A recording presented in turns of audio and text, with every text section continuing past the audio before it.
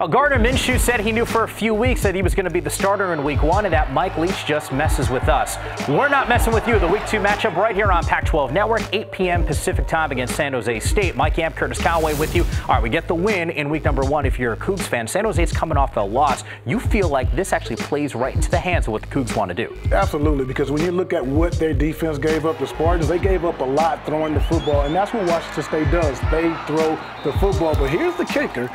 They gave up, Spartans gave up 35 points in the first half, only nine mm. in the second half. So the key is going to be what Spartan defense shows up. It would be that first half or that second half defense. In my opinion, I think they saw some things in the first half, got it straightened out, they came out strong. This one's going to be a must watch. Yeah, we actually saw some teams around the country slow in week number one, at least out of the gates, and yes. then pick it up. So maybe this is going to be more, than, more of a game that we anticipate. But complete coverage on Pac 12 Network as soon as the game is done We got everyone covered on Final Score.